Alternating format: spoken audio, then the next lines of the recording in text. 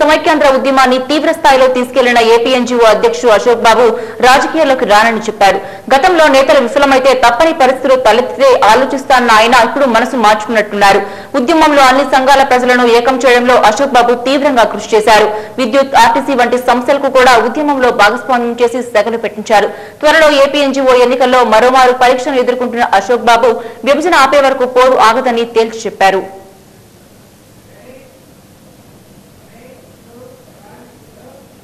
సమైక్యాంధ్ర ఉద్యమంలో కీలక పాత్ర పోషిస్తున్న ఏపీఎన్జీఓ అధ్యక్షుడు అశోక్ బాబుతో మా విజయవాడ ప్రతినిధి సుబ్బారావు మరిన్ని వివరాలు అందిస్తారు.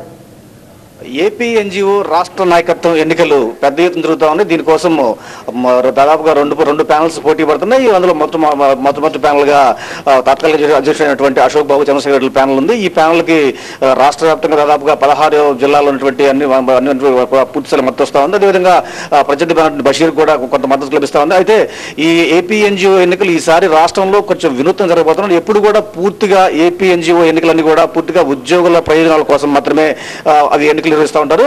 అయితే ఈసారి ఉద్యోగుల ప్రయోజనాలతో పాటు కూడా ఆ సీమాంధ్ర ప్రాంత ప్రజల ప్రయోజనాలు కూడా ఈ ఎన్నికల్లో ముడిపడి ఉన్నది ఈ నేపథ్యంలో ఏపీ ఎన్జిఓ ఎన్నికలు సాగుతున్నాయి. మరో పక్కన సమైక్యాంధ్ర ఉద్యమం కోసం ఏదైతే ఏపీ ఎన్జిఓ నాయకత్వం కట్టుబడి ఉందో ఆ ఉద్యమాన్ని కూడా సమాంతరం తీసుకుంటున్న పరిస్థితి కనిపిస్తూ ఉంది. ఈ రెండు కార్యక్రమాలను కూడా పూర్తిగా ఆ, సమాంతరంలో నడిపిస్తున్నటువంటి అశోక్ బాబు మనతో ఉన్నారు. ఆయనతో మాత్రం చెప్పండి. ఈసారి ఎన్నికలను ఏమిటి మీ ఏపీ ఎన్జిఓ చరిత్రలో ఒక వినూత్నటువంటి భావించేటువంటి పరిస్థితి కనిపిస్తూ ఉంది మేమైతే అలా ఏం అనుకోవట్లేదు. ఎందుకంటే ప్రభుత్వం ఇచ్చిన ఉత్తర్వుల ప్రకారం ప్రతి ఉద్యోగ సంఘానికి మూడు సంవత్సరాలు ఒకసారి ఎన్నికలు జరగాలి. మాకు ముప్పై ఆరు రెండు వేల పదమూడున జరగాల్సిన ఎన్నికలు కోర్టు ఉత్తర్వుల ద్వారా స్టే ఇవ్వడం జరిగింది కాబట్టి ఆలస్యమైంది. మళ్ళీ ఎన్నికలు జరిపించాలని చెప్పి మేము దాదాపుగా మా రాష్ట్ర కార్యవర్గంలో నిర్ణయం తీసుకుని ఈరోజు ఎన్నికలకు వెళ్తున్నాం. ఆ రోజున ఎవరైతే పోటీ చేశారో అదే వ్యక్తులు ఈరోజు పోటీ జరుగుతుంది. పోటీ అనేది ఇది నామాత్రం పోటీ తప్ప ఇదేమి ఉద్యోగ సంఘాలు చీలిపోతున్నాయి లేదా ఉద్యోగ సంఘాలు వర్గ విభేదాలు ఇటువంటివన్నీ కూడా కొన్ని అపవాదులు మా మీద రావడం జరిగింది. అటన్నిటిని మేము తీవ్రంగా ఖండిస్తున్నాం. ఎందుకంటే ప్రజాస్వామ్యంలో పోటీ ఉండాలి. పోటీ చేసేవాళ్ళు వాళ్ళ వాళ్ళ కారణాల వల్ల వాళ్ళు పోటీ చేస్తారు. మొత్తం ఉద్యోగ వ్యవస్థ అంతా కూడా మా నాయకత్వం మీద నమ్మకం ఉందనే విశ్వాసం మాకుంది. కాబట్టి ఎన్నికలు జరి ఒక లీగల్ ఆబ్లిగేషన్ కాబట్టి మేము ఎలక్షన్స్కి వెళ్తున్నాం. ఖచ్చితంగా ఎన్నికల్లో విజయం మాదే. అలాగే ఇక్కడ నాయకత్వంతో పాటు వివిధ సంఘాల్లో ఉన్న నాయకత్వాలు కూడా అన్నీ కూడా ఇవాళ ప్రజా ఈ ప్రజా ఉద్యమాలు ఏదైతే సేవాంధ్రప్రదేశ్ ఉద్యమం ఉందో ఆ ఉద్యమంలో అందరూ భాగస్వాములుగా ఉన్నాం.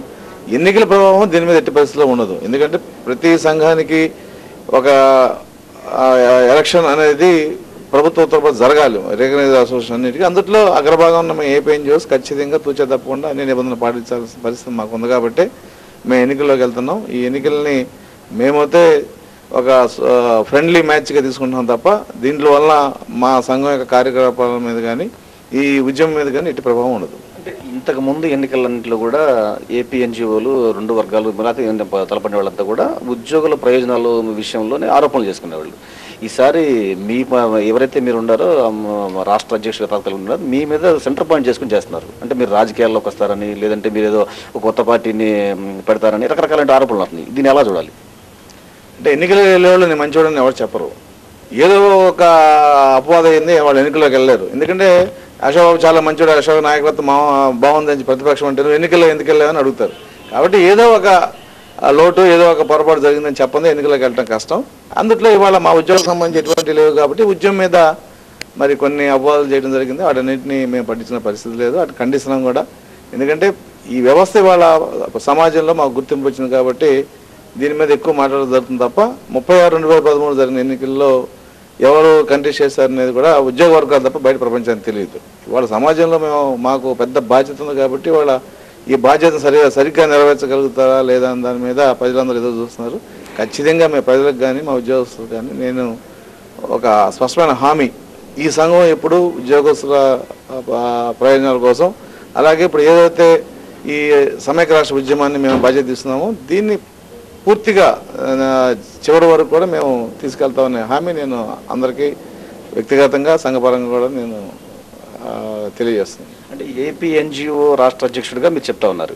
కానీ ఆరోపణలన్నీ కూడా వ్యక్తి కేంద్రీకృతమై పరిస్థితి కనిపిస్తా ఉంది. అశోక్ బాబు ఈ సమైక్యాంధ్ర ఉద్యమాన్ని గ్రాప్ చేశాడు ఇమేజ్ మొత్తం పెంచుకున్నాడు అనేటువంటి ఒక ఆరోపణను ప్రత్యేకం చేస్తా ఉంది ఇప్పుడు మ్యాచ్లో లాస్ట్ బాల్ కనుక విన్నింగ్ రన్ ఎవరు కొడితే వాళ్ళకి ఎక్కువ పేరు వస్తుంది. ఇది కూడా అటువంటిదే. అంతకుముందు సెంచరీ కొట్టిన వాళ్ళు ఉంటారు కనుక మ్యాన్ ఆఫ్ ది మ్యాచ్ అనేది ఎవరికి ఇస్తారని జనరల్గా లాస్ట్ బాల్ కనుక ఆ రన్తో విన్ అయ్యే పరిస్థితి ఉంటే ఆ మ్యాచ్ మొత్తానికి కాన్సన్ట్రేషన్ అతని మీదకి వస్తుంది. అటువంటి పరిస్థితి ఇవాళ అయిపోయిన సంఘానికి వచ్చింది. ఈ రాష్ట్రం విడిపోతున్నప్పుడు బాధ్యత తీసుకోవాల్సిన రాజకీయ వ్యవస్థ మొత్తం కూడా పక్క నుండి ప్రజలు ఈ రాష్ట్రం ఏమైపోతుందని బాధపడుతున్నప్పుడు ధైర్యంగా మేము ముందుకు వచ్చాం. నష్టమైన కష్టమైన మేము పడ్డాం. అదే సమ్మె కనుక వైఫల్యం చెందితే మొత్తం మా మీద వ్యవస్థ అంతా కూడా దుమ్మెత్తిపోసేది సమ్మె సక్సెస్ అవడం కేంద్ర ప్రభుత్వం కూడా ఈ ఉద్యమానికి భయపడటం వల్ల మాకు పేరు వచ్చింది. అంటే ఇటువంటి ఉద్యమాలు కానీ ఇటువంటి నిర్ణయాలు తీసినప్పుడు దీనివల్ల మంచి చెడు రెండు ఉంటాయి. ఆ మంచి చెడు ఏదైనా సరే ధైర్యంగా స్వీకరించగలిగే నాయకత్వం ఉన్నప్పుడే అది సక్సెస్ అవుతుంది. ఆ- డెసిషన్ ఏదవుతుందో ఉందో ఆ రోజు క్రిటికల్ డెసిషన్ అనేది మేము తీసుకున్నాం కాబట్టి ఇవాళ ఈ సమాజంలో మాకు గుర్తింపు వచ్చింది. అయితే ఇప్పుడు మొన్న ముఖ్యమంత్రి గారికి ఇండియా టుడే వాళ్ళు ఇచ్చిన గుడ్ గవర్నెన్స్లో ఆంధ్రప్రదేశ్ రాష్ట్రానికి ప్రైజ్ వచ్చింది. పిలిచి ముఖ్యమంత్రి సన్మానించారు. కానీ ఉద్యోగస్తులు కష్టపడడం వల్ల ఆయనకి ఈ రాష్ట్రానికి పేరు వచ్చింది. ఎందుకంటే నాయకుడు ఆయన. అది నాయకుడికి ఎప్పుడు ఆ గౌరవం ఉంటుంది. మంచి వచ్చిన ఎలాగుంటుంది చెడు వచ్చిన ఎలాగుంటుంది. కాబట్టి వాళ్ళ రెండింటిని మేము సమానంగా తీసుకోగలుగుతున్నాం కాబట్టి వీటన్నిటిని ఎదురుబడి నిలబడగలుగుతున్నాం. అయితే ఒక హామీ అయితే మేము ఉద్యోగస్తులకి ప్రజలకి ఇస్తాం. ఉద్యోగస్తుల యొక్క ప్రయోజనాలు కానీ ప్రజా ఉద్యమాన్ని కానీ ఎక్కడా కూడా మేము తక్కువ చేసి కానీ లేదా వాటిని నెగ్లెక్ట్ చేసే పరిస్థితి ఉండదనే హామీ అయితే నేను స్పష్టంగా ఇవ్వగలుగుతాను అశోక్ బాబు సంఘం నుంచి విడిపడి ఒక రాజకీయ నాయకుడిగా మారిపోయేటువంటి అవకాశం ఉంది. అది మీ సొంత స్వగ్రామం అయినటువంటి ఈ జిల్లా అయినటువంటి అవనగడ్డలో పోటీ చేసే అవకాశం ఉందని కూడా మీ ప్రత్యర్థులు ఆరోపిస్తున్నారు. ఏ పార్టీ తరఫున చెప్పకుండా మీరు పోటీ చేస్తున్నారు ఎలా ఏదైనా పార్టీ చెప్తే నిజం అబద్ధం నేను చెప్తాను. పార్టీ పోటీ చేయండి పార్టీ కావాలి. అశోక్ బాబుకి హక్కు ఉంది ప్రజాస్వామ్య వ్యవస్థలో పోటీ చేసే హక్కు ఉంది అయితే ఆ విధమైనటువంటి ధోరణి ఉందా? నేను గతంలో చెప్పినప్పుడు కూడా చెప్తున్నా రాజకీయాలకు వెళ్ళాల్సిన అవసరం కానీ వెళ్ళే ఉద్దేశం కానీ నాకు లేదు. ఇలా ఊరికనే మనిషిని ఎక్కువ టార్గెట్ చేయడం కూడా మా ప్రత్యర్థులకు కానీ మా మిత్రులకు కానీ మంచిది కాని విషయాన్ని కూడా నేను చెప్తున్నాను. అంటే రాష్ట్ర నాయకులు ఎవరైతే ప్రజాప్రతినిధులు రాష్ట్ర నాయకులు రాష్ట్ర ముఖ్యమంత్రి ఉన్నారో ఆ రాష్ట్ర ముఖ్యమంత్రి ఏపీ ఎన్జిఓ నాయకుడైనటువంటి అశోక్ బాబు కలిసి ఒక కొత్త పార్టీ కూడా తీసుకొచ్చేటువంటి ఆలోచన ఉంది. అందులో భాగంగానే ఉందని అంటున్నారు. కొంతమంది పార్లమెంట్ సభ్యులు కూడా ఒక కొత్త పార్టీ వచ్చే అవకాశం నువ్వు పిల్లలు వదులుతా ఉన్నారు. అదే రాజకీయంగా వాళ్ళని అడగాల్సిన పరిస్థితి తప్ప అందుట్లో మేము భాగస్వాములు కావాలా అది భాగస్వామ్యం అనే విషయాలు అయితే మేము అయితే తీవ్రంగా ఖండిస్తున్నాం. ఎందుకంటే రాజకీయంగా కొత్త పార్టీలు ఎన్నో వచ్చినాయి పోయినాయి. ప్రజలు మారాల్సిన పరిస్థితి కూడా ఉంది. ఎందుకంటే రాజకీయ అంశం కాబట్టి దీని మీద మాకు ఒక అవగాహన ఉంది. కొత్త పార్టీని పెట్టిన పెట్టినది మాత్రం రాజకీయ వ్యవస్థ బాగుపడుతుంది. రామారావు గారు కొత్త పార్టీ పెట్టారు వచ్చింది మళ్ళీ ఓడిపోయింది. అంటే ప్రజల్లో మార్పు రావాలి. రాజకీయ వ్యవస్థలో ప్రజలు ముఖ్యంగా ఈ రాజకీయ ప్రలోభాలు ఏవైతే ఉందో అటువంటి ప్రలోభాలకి పోకుండా ఢిల్లీ మాదిరి ఎన్నికలు కనుక స్వచ్ఛందంగా పాల్గొంటే రాజకీయ వ్యవస్థ కూడా బాగుపడుతుంది. నిజాయితీ గల రాజకీయ వ్యవస్థ కూడా మనకు వస్తుంది. నిజాయితీ రాజకీయ వ్యవస్థ రావాలని కోరుకోవాలి తప్ప కొత్త పార్టీలు వచ్చినంత మాత్రాన సమస్య పరిష్కారం కాదనేది నా వ్యక్తిగత అభిప్రాయం. అంటే ఢిల్లీలో ఆమ్ ఆద్మీ పార్టీ ఒక మంచి మార్పు తీసుకొచ్చింది. ఆ మార్పు ఇక్కడ కూడా వస్తూ ఉంది. సమైక్యాంధ్ర కోసం ఏపీ ఎన్జిఓ ఉద్యోగులు కానీ ప్రజలు కానీ కలుపుకొని ఒక పెద్ద ఎత్తున ఉద్యమం తీసుకొచ్చారు. ఒక ఒక వినూత్నమైనటువంటి వాతావరణం ఇక్కడ క్రియేట్ అయింది. దీన్ని ఏమన్నా తీసుకొని అప్పర్ హ్యాండ్గా తీసుకొని ఈ రాష్ట్ర ప్రయోజనాలను కాపాడేందుకు ఒక రాజకీయమైనటువంటి ఒక వాతావరణం తీసుకోవడం తప్పేం కాదు కదా. ఉద్యమం వేరు ఓట్లు వేరు. కాకాని వెంకటరత్నం గారు జయంత్రం ఉద్యమంలో చాలా గొప్పగా ఆయన హైలైట్ అయ్యాడు. కానీ ఎన్నికల్లో విజయం సాధించలేదు. ప్రజా ఉద్యమాలు వేరు ఓట్ బ్యాంక్ వేరు. ఇది ఓట్ బ్యాంక్ అవుతుందనే నమ్మకం నాకైతే లేదు. ఎందుకంటే ఉద్యమంలో అన్ని పార్టీలు కలిసి వచ్చినాయి. ఓటుకు వచ్చేపాటికి ఎవరి పార్టీ వాళ్ళకి అభిమానం ఉంటుంది పార్టీ ప్రకారం పోతారు. కాబట్టి ఉద్యమంలోకి లక్ష మంది వచ్చారు చెప్పి లక్ష మంది ఉద్యమ నాయకు ఓట్లు వేస్తా ఓట్లు వేయరని దాని నిదర్శనం జయేంద్ర ఉద్యమం. కాబట్టి అవగాహన మాకుంది అటువంటి ఆలోచన కానీ అటువంటి నిర్ణయాలు కానీ తీసుకునే అవకాశం అయితే లేదు. సమైక్యాంధ్ర ఉద్యమం విషయానికి వస్తే కనుక ఉద్యమం తీవ్రస్థాయిలో నడిపారు. ప్రస్తుతం కొంత కొన్ని రాజకీయ పార్టీలను కలుపుకొని ప్రణాళిక ప్రకటించారు ఇదే ముందు ముందు ఏ విధంగా అంటే రాజకీయ పార్టీలు తీసుకోవాల్సిన బాధ్యత మేము తీసుకున్నంత కాలం మా బాధ్యతగా మేము ఉద్యమాలు చేసాం. మా వరకు మేము చేయగలిగాం. ఇవాళ రాజకీయ పార్టీల బాధ్యత వచ్చింది. అసెంబ్లీలో బిల్లుకి వ్యతిరేకించాల్సిన బాధ్యత వచ్చింది. అసెంబ్లీలో కానీ అసెంబ్లీ బయట కూడా వాళ్ళ మద్దతు వాళ్ళ బాధ్యత నెరవేర్చాల్సిన అవసరం వచ్చింది. రేపు పొద్దున ఏ రాజకీయ పార్టీ అయినా మాకు ఓట్లు ప్రజలు ఖచ్చితంగా అడుగుతారు. నువ్వేం చేసావా? ఓట్లు వేయడం సమగ్ర ఉద్యమం జరుగుతుంది నువ్వు అడుగుతారు. కాబట్టి దాన్ని సమాధానం చెప్పడం కోసమైనా సరే ఇవాళ రాజకీయ పార్టీలు మేము చేపట్టే ఉద్యమం కలిసి రావాలని మేము కోరాం. కలిసి వచ్చిన వరకు కలుపుకుని తీసుకెళ్తాం. మీరు క్లియర్ హ్యాండ్స్తో ఉన్నారు. కానీ రాజకీయ పార్టీలన్నీ కూడా ఇక్కడ అన్ని పార్టీలు కూడా రెండు డ్రామాలు ఆడుతున్నాయి. ఒక పక్కన తెలంగాణలో తెలంగాణ నాయకులకు అనుకూలంగా ఇక్కడ అనుకూలంగా. ప్రజలు వాళ్ళని ఏ విధంగా రిసీవ్ చేసుకోవాల్సి పరిస్థితుంది ఉద్యోగులు కానీ వాళ్ళని ఏ విధంగా అర్థం చేసుకోవాలి వాస్తవానికి అయితే అంటే ప్రాంతంగా విడిపోయినప్పుడు ఏ ప్రాంతానికి సంబంధించిన వాదం ఆ ప్రాంతంలో గెలుస్తుంది. ఇప్పుడు ఒక ఎమ్మెల్యే ఆయన కాన్స్టిట్యున్సీ ఫండ్స్ కావాలని అడుగుతారు ఒక ఎంపీ ఆయన కాన్స్టిట్యున్సీ ఫండ్ కావాలని అడుగుతారు అలాగే ఈ ప్రాంతం ప్రజలు రాష్ట్రం సమైక్యం ఉండాలని కోరుకున్నప్పుడు ఈ ప్రాంత ప్రజల యొక్క అభి అభిప్రాయం అభిష్టం మేరకే రాజకీయ వ్యవస్థ కూడా నడుస్తుంది. అయితే ఈ రెండింటితో పాటు ఆంధ్రప్రదేశ్ యొక్క అభివృద్ధి ఆంధ్రప్రదేశ్ యొక్క సమైక్యత అనేది చాలా ప్రధానం. వీటి మీద కూడా కూడా ఒక హామీ ఒక స్పష్టత ఇవ్వగల రాజకీయ వ్యవస్థకి ప్రజలు ఎక్కువ మొగ్గు చూపు చూపుతారనేది నా నమ్మకం. అటువంటి వ్యవస్థ ఉన్నది? ఎందుకంటే ఇదే మాటలు విజయవాడ పార్లమెంట్ సభ్యులు నిలబడి చెప్తున్నారు. సమైక్యాంధ్ర పార్టీలో రానున్నటువంటి కాలంలో గెలుస్తాయని. ఆయన అడిగితే చెప్పట్లా. ఈ సమైక్యాంధ్ర పార్టీ అని ఉందా? మీరు ఏమైనా చెప్తారంటే ఆయన చెప్పలేకపోతుంది మీరు ఏమైనా చెప్పగలుగుతారా అది ఆయన అడగాలి. మేము చెప్పలేము. ఎందుకంటే మేము సమైక్యాంధ్ర బాధ అంటే తెలంగాణ వాళ్ళు తెలంగాణ రాష్ట్ర పోరాట సమితి అంటారు. కాబట్టి ప్రాంతీయ సమైక్యాంధ్ర కోసం పాటుపడే పార్టీలు గెలుస్తాయి అసలు ఆ పార్టీలు ఏమైనా ఉండవా? మీరు ఏమైనా చెప్పగలుగుతారు ప్రజలకు ఏమన్నా అంటే ఇప్పుడు పార్టీలు ప్రాంతంగా విడిపోయినాయి కానీ పార్టీ సిద్ధాంతంగా సమైక్యంగా ఉన్న పార్టీలు మనకు మూడే కనబడుతున్నాయి ఏది? CPM MIM Vaikapa. సిపిఎం అనేది ఇవాళ మన పదమూడు జిల్లాలో తక్కువ ఉంది తెలంగాణలో కూడా తక్కువ ఉంది. వాటిని ఆమోదించే పరిస్థితి లేదు. ఎంఐఎం ఆంధ్రప్రదేశ్ పరిస్థితి ఉంది వైకాపా. వైకాపా వైకాపాలో కూడా చాలా రాజకీయమైన మార్పులు చేర్పులు జరుగుతున్నాయి. కాబట్టి ఇంత ఒక కాంప్లెక్స్ సిచ్యువేషన్ నాకు తెలిసి ఈ ఆంధ్రప్రదేశ్ ఏర్పడినది ఎప్పుడు రాలేదు. కానీ ప్రజలు కూడా కొంత కన్ఫ్యూజన్లో ఉన్నారు. క్లారిటీ కూడా ప్రజలకు లేదు. అయితే ఎన్నికలు వచ్చిన తర్వాత నిలబడే వ్యక్తి వాళ్ళ క్యారెక్టర్ వాళ్ళ నిజాయితీ మీద ఎక్కువ ఆధారపడుతుంది. పార్టీ కన్నా కూడా. ఈసారి నాకు నాకు తెలిసి వ్యక్తిగత విలువల మీద ఎక్కువ